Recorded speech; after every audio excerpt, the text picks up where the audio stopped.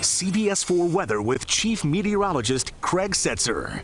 Very exciting, and our weather not very exciting, which I guess is a good thing. Whenever it's exciting here, it's usually bad. It has been warm and humid and pretty pleasant. Here's our Keys camera this evening with the twilight sky. Nice day today, but well above normal. 76 right now in Miami, 78 Fort Lauderdale, Hollywood. These temperatures, by the way, are the normal high for this time of year. We're not getting that cool at night.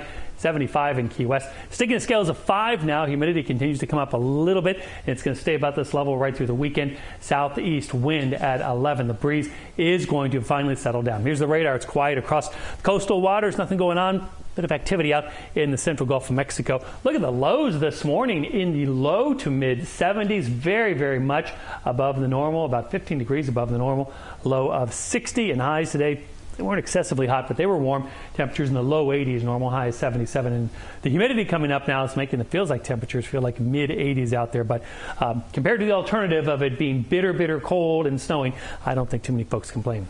Uh, temperatures right now in the mid to upper 70s, and there's the breeze out of the southeast, anywhere from 8 to 14 miles an hour. Peak wind gusts today, they were up to around 30 miles an hour. So the wind's gradually coming down, and by tomorrow evening, the winds will come down more. In terms of the satellite loop, not too much going on, mostly sunny skies, but there is that front that is now stalling out in the central Gulf of Mexico. So as we go through Saturday, warm, breezy, humid weather continues here. The front still in the central Gulf. On Sunday, we are still ahead of the front, so warm and humid, less breezy though. And then on Monday, the front finally comes through, and that will allow some cooler and drier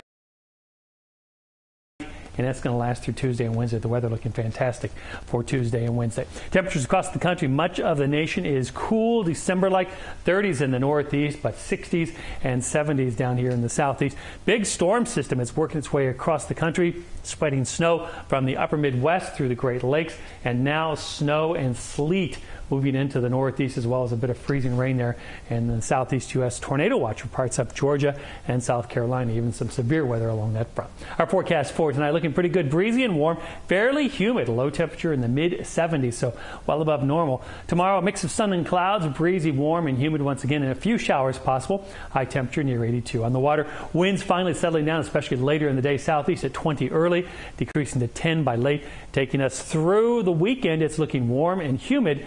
Next week, the cold front comes through and drops us back Tuesday, Wednesday, looking great. Back to you.